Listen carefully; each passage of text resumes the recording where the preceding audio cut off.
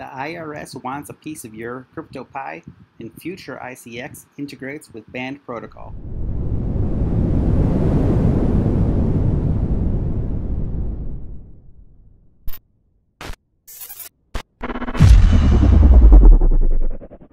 What's going on guys? Randy here with another daily crypto video. Before I get into today's content, if you guys want free cryptocurrency and you're a Coinbase user, or if you're a new Coinbase user a future Coinbase user, you can earn free crypto, free EOS, free Stellar, and free Compound just by watching a couple videos, answering a couple quiz questions. You'll get $29 of free crypto that you can convert into Bitcoin or just hold those three projects. It's for a limited time only. Link in the description. All right, so the IRS course, they want their piece of the pie as, you know, they, they should get it. They should get their piece of the pie. The problem is there's so much uncertainty about the industry. I mean, because it's so new. So uh, let's take a look at a couple stories here.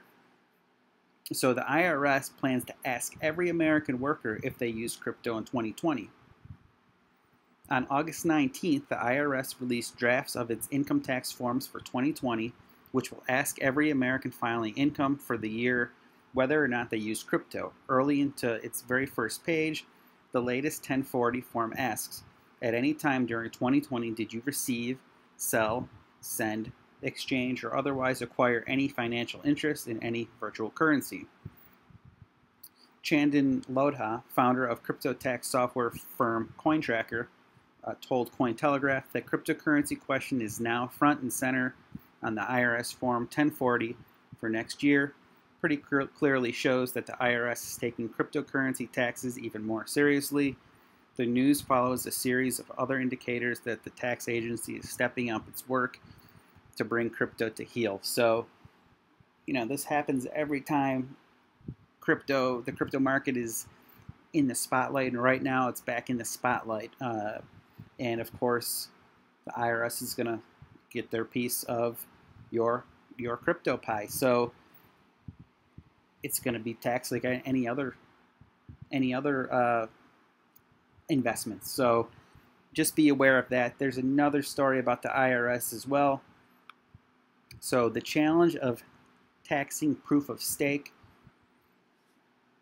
So one, you know, the most awesome thing about crypto, in my opinion, is the proof of stake concepts where you can earn staking rewards. The thing is, it's still so new to uh, taxing regulations that it's not being done yet. And the problem is, being overtaxed is is a huge problem. You know, it almost feels as if the powers that be don't want you to, uh, you know, to get to get rich off these off these assets. But anyway, so while being a relatively young correction to the energy intensive proof of work network validation, proof of stake has existed in theory since 2012. However, a rising market cap of POS tokens like Cardano and Tezos over the past two years and Ethereum is much hyped but much delayed shift from POW to POS have brought the subject to forefront. Alongside an overall increase in regulatory attention on crypto generally, uh, POS protocols are an area of much debate one question highlighted by a recent letter from several congresspeople to the IRS is taxes. Specifically, the letter voiced worries about overtaxing staking rewards. Unfortunately, the IRS is really treading in new territory. It's not a surprise that they have yet to put together comprehensive guidance on staking rewards. Congressman David uh, Schweikert, whose office sent a letter to the IRS and Cointelegraph, that the main task was just trying to get it on their radar, he continued. We know they have some very smart people over there working on those issues. We're letting them know that there are those in Congress interested. As Cointelegraph has noted in the past, educating the IRS is complicated. Staking is no exception. And uh, I'm going to link this article down in the description so you can read the full article. I don't want to go into the whole thing. So um, Stephen uh, Chandrakera, CoinTracker's head of tax strategy, advised caution in the meantime. In the absence of IRS guidelines, what taxpayers can do is take the most conservative approach, which is recognizing income at the time you receive it. Nonetheless, it's clear that the IRS is paying even closer attention to crypto, spurred on, uh, spurred on by legislators. Something's got to give. So, yeah, just uh, especially with tax forms now coming out and asking you if, you uh, if you uh, use crypto, if you if you've traded it, if you've received it, whatnot. You know, same thing's going to be true with staking rewards. Now, um, there's no way around uh, not reporting it. So just you know, do the right thing and save yourself the problem. Report on your crypto taxes, and there are crypto tax uh, services that will uh, take care of this kind of stuff for you. Moving on to the next story is Future ICX, uh, which is a prediction market on Icon. Um, they integrated with Band Protocol for decentralized and customi customizable price oracles.